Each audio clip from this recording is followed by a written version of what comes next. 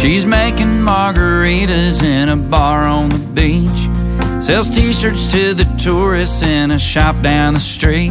Makes handmade earrings and bracelets to make ends meet. She's renting an apartment on the second floor. It's an easy five minute ride down to the shore on that yellow bicycle gets her back and forth. When she left Minnesota, one bag was all she packed. Came down on a round trip ticket but she only used half. She left behind the rain and snow for the coastline where the warm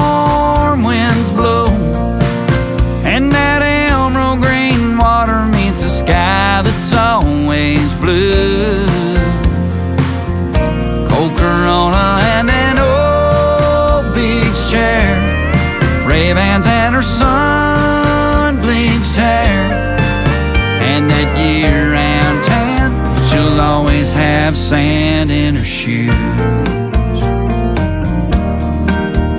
Got a picture from that first trip with her mom and her dad. In her flip-flops and her pigtails and that little straw hat. And ever since she dreamed of living in a place like that. When she graduated college, how could she have known she'd wind up in a cubicle answering phones, feeling like her whole life had been put on hold? So she left behind the rain and snow for the coastline where the warm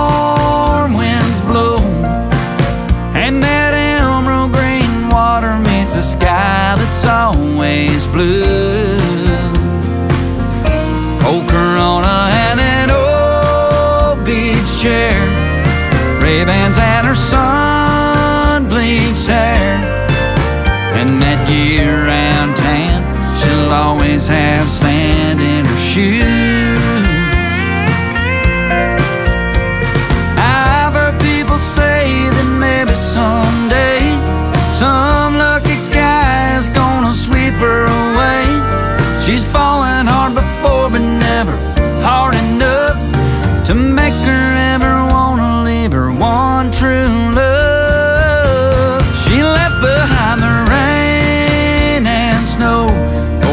coastline where the warm